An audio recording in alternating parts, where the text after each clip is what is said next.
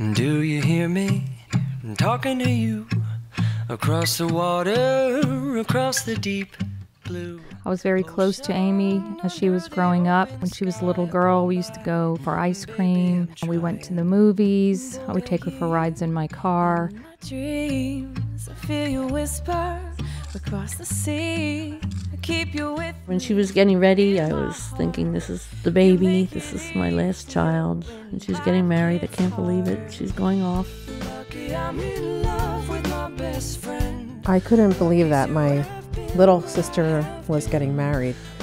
I felt like her day had finally come that she's dreamt about all her life.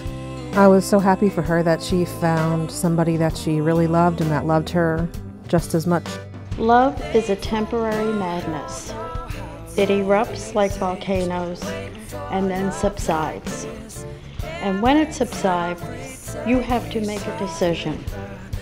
You have to work out whether your root was so entwined together that it is inconceivable that you should ever part. Because this is what love is.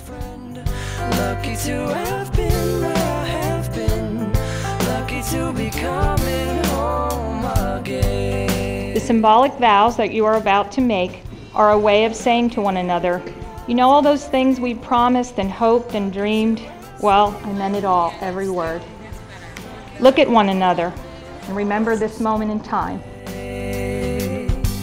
And so I'm sailing through the sea to an island. I begin my life with you today, knowing that we have developed a trust and commitment that is strong enough to last through good times and bad. with this ring, I offer you my hand my heart, and my soul.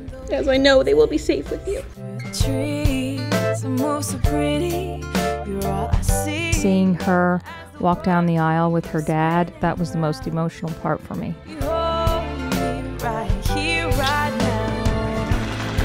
The new Mr. and Mrs. Amy and John Daly.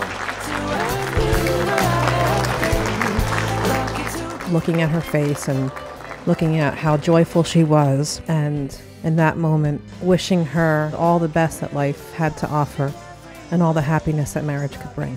Stay where we have stayed. Lucky to be coming home someday. I think we can all attest that John has been very happy since meeting Amy and the two of them deciding to spend their life together.